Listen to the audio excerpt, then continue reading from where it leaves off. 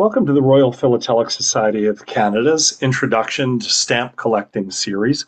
These videos are designed to introduce you to the various aspects of uh, collecting when you're beginning or uh, to refresh your um, ideas when you're after you've been doing it for a while. And tonight we have the great honor of having Jean Wang to give us an introduction to topical and thematic collecting. Uh, Dr. Jean Wang is a hematologist and leukemia researcher at the Princess Margaret Cancer Center in Toronto with an interest in medical philately. She is an active thematic collector and exhibitor with a five frame grand award winning exhibit that explores the science and societal impact of blood donation and transfusion, and a one frame exhibit of material from the early Christmas funding appeals of Toronto's Hospital for Sick Children. Jean has given numerous presentations on medical philately and thematic collecting and exhibiting, and has written articles for various philatelic journals, including the Canadian Philatelist, Topical Times, and the Philatelic Exhibitor. She recently discussed thematic collecting with Charles Epting and Michael Cortese on an episode of Conversations with Philatelists. Jean is the membership director of the Philatelic Specialist Society of Canada and the editor of the annual PSSC Journal and the North Toronto Stamp Club newsletter. She is the RPSC delegate to the Fédération Internationale de Philatélie's Thematic Commission, a member of the board of directors of the Vincent Graves Greene Philatelic Research Foundation, and since 2018 has been a member of Canada Post's Stamp Advisory Committee. On April 18th, uh, Jean was the first Canadian to be appointed to the Board of Trustees of the American Philatelic Research Library. Jean, we're thrilled to have you, and uh, please take it away.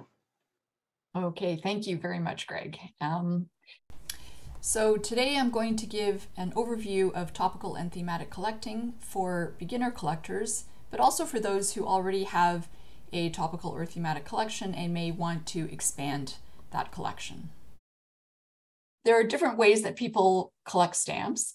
As the sort of traditional, and I put that in quotation marks, um, traditional way of collecting uh, more or less focuses on the philatelic aspects of the material that you collect. So on stamp production and usage, on the various rates, uh, routes and markings, uh, etc. And the collections are usually organized according to these philatelic aspects. So they're organized by the country of issue, by the route that the mail took, and so on. And the collection can be very diverse and it can include stamps, postmarks, postal stationery, postal history, and so on. So in contrast, a topical or thematic collection, um, rather than focusing on philatelic aspects, focuses on the images or the subject matter that is depicted on the material that you collect. And instead of organizing according to the philatelic aspects, collections are typically organized according to the topic or theme uh, that is the uh, focus of the collection. But similar to traditional collections, a topical or thematic collection may include stamps, but may include all the other uh, material from other um, branches of philately, including postmarks, postal stationery, postal history, and so on. And really, the scope of a topical or thematic collection is limited only by the collector's imagination. You can make your collection whatever you want, basically. So when you're going to uh, start a collection, you can of course make it as um, broad or as narrow as you like. So you really define the scope of your own collection. So here are some examples. Uh, uh, flowers on stamps is a very popular uh, topic to collect. Um, so people may collect all flowers on stamps, or they may focus only on certain types of flowers, such as orchids, um, which is another popular topical uh, birds is another very uh, popular topic. So people may collect all birds on stamps, or they may focus on loons on stamps, or owls, or falcons, or even specific types of falcons. I have a friend who collects peregrine falcons specifically, or you may want to collect a certain group of birds, such as birds of prey that would include owls and falcons. So really, you can define it however you like. And when you are choosing a topic, uh, I find that a lot of people tend to choose a topic that's related to the work that they do, their day job. Uh, so an engineer may choose to collect trains, for example. Uh, you may collect something that's related to one of your other hobbies like gardening or birding or sailing. uh, maybe something related to a place that you've lived or a place that you have visited, or a favorite food or sport that you play, a favorite artist or author, a holiday that you like to celebrate, really anything that tickles your fancy. There's really unlimited uh, topics that, that people can collect. So for myself, um, as Greg mentioned, I'm a, I'm a physician, I'm a hematologist, and I see people who have blood disorders. Uh, so when I decided to start a topical collection, I looked for a topic that was related to the work that I do, uh, because I found that interesting to try and combine aspects of what I do professionally with what I do in my hobby. And so uh, I decided to collect stamps related to blood donation and blood transfusion because it was a topic that was valid to all countries around the world. So many countries around the world have issued stamps on this particular topic but it wasn't so broad that you know it would be impossible to collect. So I didn't want to collect, for example, Red Cross, which is an enormous topic. Um, but you know this is sort of a subset of those Red Cross stamps, and it includes stamps that are not necessarily Red Cross as well. So, like many people, when they start out with a topical collection, I set out to collect or identify all the stamps that I could find that were related to my topic, to blood donation. So, here's the first uh, stamp that was issued on this topic. It was issued by Hungary in 1942 as part of a set of four stamps uh, commemorating the Red Cross. And this was one stamp showing one of the functions of the Red Cross. Uh, and as I looked around, I found many other stamps that uh, had been issued by many countries, as I mentioned. So here's Cyprus, France, uh, Algeria, Belgium, Tunisia, and the list goes on. I think altogether there have been over four, uh, over 200 issues on blood donation since this first one in 1942 just want to mention a few things when you're looking for stamps for a topical collection is that you may find that not all of the stamps in a set may be relevant to your topic. So for example, for blood donation, I found this uh, set of stamps issued by Ethiopia to commemorate the 75th anniversary of the Ethiopian Red Cross Society. And as you can see, only the second stamp here, which depicts a patient receiving a transfusion and some blood donation bags, uh, is relevant to my topic, and the other three stamps are just, you know, talking about other aspects of the Red Cross. Or, for example, this set issued by Great Britain to commemorate the 50th anniversary of the British National Health Service in 1998. The first stamp here is uh, related to blood donation, but the other stamps are related to other aspects uh, and other services that the NHS uh, provides.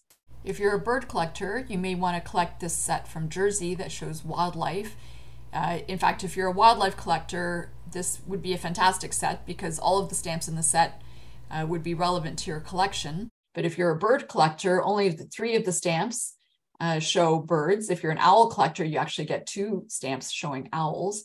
So, you know, you need to kind of decide are you going to buy the whole set? Mostly mint stamps, when you purchase mint stamps as new issues, or even from dealers, you have to buy the whole set. You can't just buy individual stamps. So maybe you buy the whole set and you can trade the other stamps that you don't collect with, with people who have um, complementary topics to what you collect.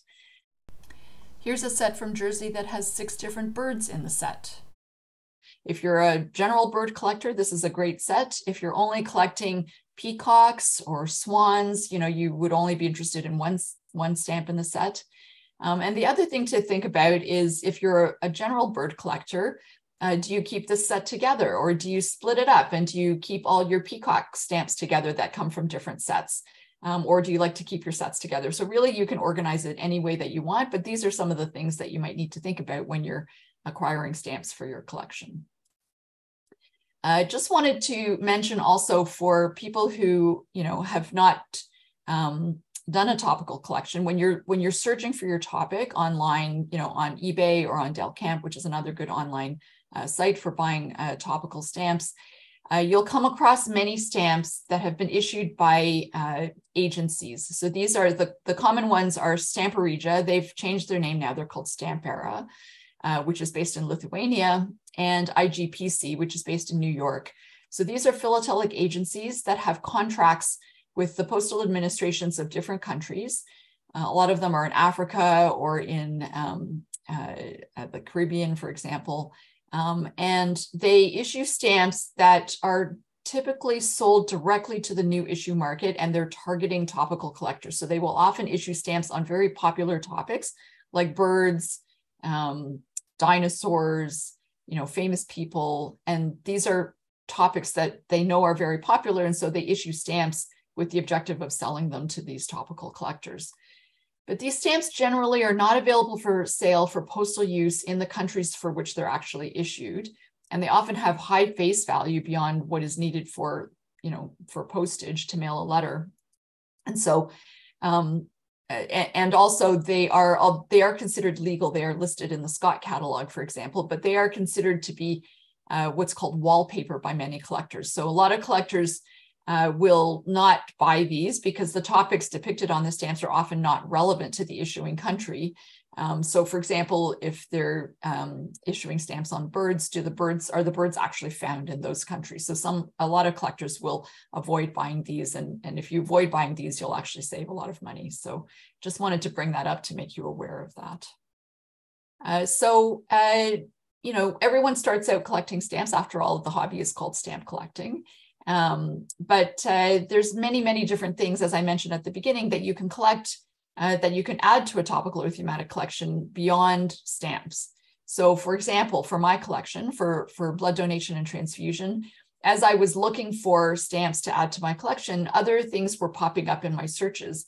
And I found them quite interesting and I started to buy them as well to add them to my collection. So for example, you might find slogans that are part of postmarks or meter marks and uh, some of them can be quite interesting and relevant to your topic. So this is one from Northern Ireland, uh, from the Northern Ireland uh, Blood Transfusion Service that says you can't get blood from a stone, neither can we. So they're using humor to try and uh, uh, encourage blood donors. Um, you can find different uh, kinds of postal stationery. This is an example from Romania. It's a postal stationery envelope with a printed indicium on it and the cachet shows a blood donor receiving a certificate after giving a, a, blood donation. And there's lots of different advertising cards and covers where often the advertising will subsidize the face value of the uh, of the item. So this is a, an echo card from Japan that has an ad showing a patient uh, hooked up to a plasmapheresis machine. And these ads uh, subsidize the face value by five yen. So these cards were sold for five yen less than the face value. And um, and uh, there was still room to write a message uh, when you sent the card. So, so really topical and thematic collectors have, have the, um, you know, have uh, the joy and enjoyment of really collecting the whole wide world of philately. You don't have to stick to only stamps. You can, you can collect, uh, you know, material from the sort of more traditional branches of philately to add to your collection. And this is what makes a topical or thematic collection very unique uh, because if you only stuck to the stamps, you know, given that there's only a finite number of stamps on, on any particular topic, that would be a collection that could perhaps be easily duplicated. But if you start to include some of this other material that's not really cataloged per se, um, then that makes your collection unique. And every topical or thematic collection will be unique in that way. So I keep saying topical or thematic. So what is the difference between topical and thematic? So a topical collection is one where every item will have an image of the topic. So for example, uh, if your collection is about butterflies, um, every stamp, postmark, postal stationery will have an image of a butterfly. So I consider this to be like an illustrated catalog. So as you flip through your collection, it will basically be, be like an illustrated catalog where every item will have a picture of a butterfly. in contrast, a thematic collection uh, is one in which every item either depicts the topic or a related aspect of the topic. So here you can expand the collection to uh, collect material that might be uh, related to the primary topic, but doesn't necessarily have a picture of the, of the focus of your collection. So this is more like an illustrated storybook or a children's storybook.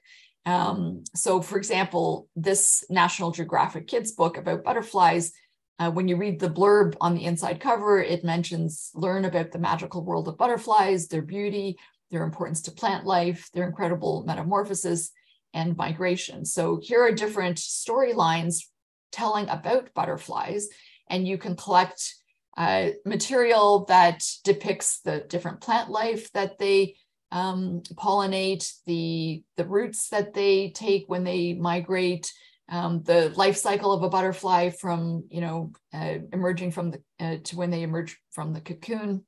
So there's many different aspects that you can explore and you might not have a picture of a butterfly on every single item in your collection. So it broadens the scope of your collection uh, over one that uh, is considered topical where every item has to have a picture of your of your topic. So I'll give you uh, another example from another one of my collections. So, um, you know, I'm interested in medical philately, and at the beginning of the pandemic, when I saw that countries were starting to issue stamps related to the COVID 19 pandemic, I started to collect material related to the pandemic. So, in the strict sense, if you were to have a COVID 19 topical collection, um, you know, that could be a collection where every single stamp or item actually depicts a picture of the coronavirus that causes COVID 19. So, here is the very first stamp that was issued during the pandemic was issued by Iran on March 18th, just a week after the WHO declared COVID 19 to be a, a, pandemic. And it's got a picture of the coronavirus. It doesn't mention COVID 19 because I don't think they had actually named the virus yet at that point. And if you look around, you'll find other stamps as well that have pictures of coronavirus on it. So this one here is from a, a private post company called Elster Post in Germany. It's got a depiction of a coronavirus uh, in close up. This one, semi-postal stamp from Switzerland, has a very stylized coronavirus. And you'll see other stamps that have coronaviruses here more in the background, and there are other subjects on the stamp as well. So here, uh, honoring the essential workers in the pandemic, and here some of the public health measures, uh, as well as essential workers. So, you know, you can build a topical collection related to uh, COVID-19 but much more interesting to me um, was to build a thematic collection where I could explore all the other storylines that were related to the pandemic. So, for example, uh, there were lots of stamps issued depicting aspects of social distancing. This one from French Polynesia has these two ladies sitting on a bench separated by the distance of six coconuts laid side to side. So that was representative of the uh, minimum distance that you should social uh, socially distance. Um, this one from Singapore uh, promotes hand washing uh, as part of public health measures to reduce transmission of the virus. Different uh, styles of face masks. You know, face masks sort of became a, a, a new clothing accessory during the pandemic. Uh, this ATM label from Israel depicts drive-through testing uh, that was set up by the Magen David Adom to test for COVID-19. Uh, this stamp from Belgium uh, highlights the social isolation that occurred during the pandemic from us, you know, isolating and uh, keeping within our immediately fam uh, immediate family bubbles and social distancing. Uh, a stamp from France highlighting essential workers, including grocery workers here. And more recently, uh, some stamps and other material related to vaccination and immunization against COVID-19. So a lot of different aspects of the story of the pandemic. And you'll notice that not a single one of these stamps actually has a picture of a coronavirus on it, but these are all very relevant to a COVID 19 thematic collection. And then beyond stamps, there's a lot of other material that can be collected. So, for example, slogans and meters. Here's just a couple of examples uh, a, a machine cancel from Australia and a meter mark from Germany promoting vaccination. Uh, many different postal administrations produced postal stationery cards that they distributed for free to encourage people to uh, write letters and postcards to each other to, uh, to stay in touch despite uh, uh, physical distancing. This is an example from a set of six cards that Canada Post produced. And then many, many different postal administrations produced pictorial postmarks that commemorated or highlighted different aspects of the pandemic. These are a couple of examples from Taiwan. This one actually shows the Omicron variant of the virus, and this one shows a small uh, rapid test kit uh, for COVID-19. Uh, even more interesting was collecting postal history. And really, it was an opportunity during the pandemic to collect postal history in real time. So rather than you know, collecting 50 or 100 year old or even older postal history, I could actually collect uh, material that was uh, relevant um, in, in real time. So here's an example of uh, a letter that was mailed from Taiwan to Canada, but was returned to the sender. Uh, so, you know, there were lots of examples of this from different countries because of the disruptions in air travel due to the COVID 19 pandemic and suspension of mail service between countries. Uh, some countries, uh, particularly China, uh, actually disinfected incoming mail. So here's a letter uh, uh, that was incoming to China from Hong Kong that has a label on it uh, uh, telling the recipient about how the letter was disinfected. And then this is a cover from Thailand that has a hand stamp indicating that delivery was delayed uh, because there was a local outbreak and the post office workers had to hold the mail because of um, the need to quarantine for a short time. Uh, and there's other fun aspects that you can look for as well. So there have been uh, some design errors. Here's one example. Uh, this was a stamp issued by Poland in 2021 uh, promoting vaccination. And uh, you can see this woman here is flexing her uh, biceps as a symbol of strength and support.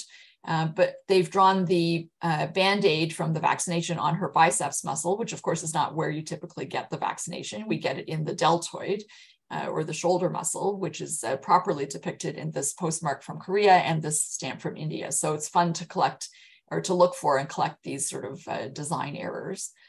Um, so uh, that's just a sort of quick overview of some of the items from my collection to kind of illustrate the ideas that I've talked about.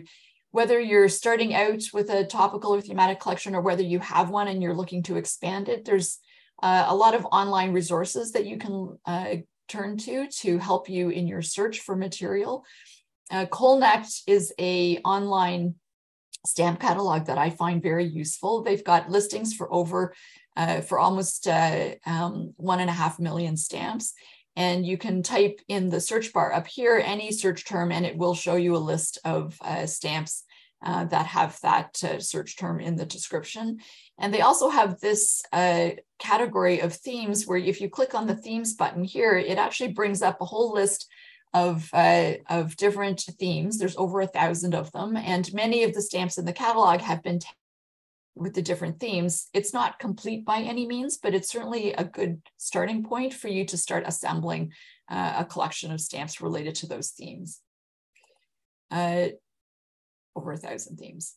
Um, for some of the more popular topics, you may even be able to find specific uh, online um, websites specifically related to the theme that you're interested in. So for bird uh, collectors, there's a very, uh, there's a fantastic um, website that basically lists all the stamps that have ever been issued uh, on birds. Uh, I found this one on medical philately, so medicine and pharmacy in philately. It's it's based in Germany, but they do have uh, an English uh, part of the website as well. Uh, the American Topical Association is a great uh, collector association. It's the largest uh, association of topical and thematic collectors. They produce a journal every or six times a year, every two months. Has a lot of interesting articles and information about topical collecting. And they also have this uh, resource book that you can buy on their website that has information, uh, examples, um, guidelines, and uh, talks not only about collecting, but if you want to try your hand at it, uh, also gives some hints about uh, exhibiting, uh, topical and thematic exhibiting. And if you're a member of the ATA, you can also purchase checklists. So they have compiled almost 1,500 checklists on a variety of topics, and the cost of the checklist is uh, dependent on how big it is. So the smaller ones don't cost very much. The larger ones, they charge a bit more. Um, but these are fairly complete. They're, uh, um, they include the Scott listing and they do include those agency stamps that I mentioned. So, um, you know, you have it as your resource and you can decide for yourself which of these stamps that you want to add to your collection. So I think that's it. Um, so I hope you enjoyed this overview and I'll turn things back to you, Greg. Thanks so much, Jean. That was a terrific introduction to the topic, and we're grateful. Um, if you are enjoying these RPSC uh, videos, uh, whether they're introduction, intermediate, intermediate, or advanced collector videos, we ask you to go to our YouTube channel and like it. Um, if you have any suggestions on future topics for these videos, please get in touch at talks at rpsc.org. And um, if you would like to uh, find out more about being a, becoming a member of the RPSC, um, please go to rpsc.org and we'll be very happy to, uh, to hear from you and help you with that process. Thanks very much.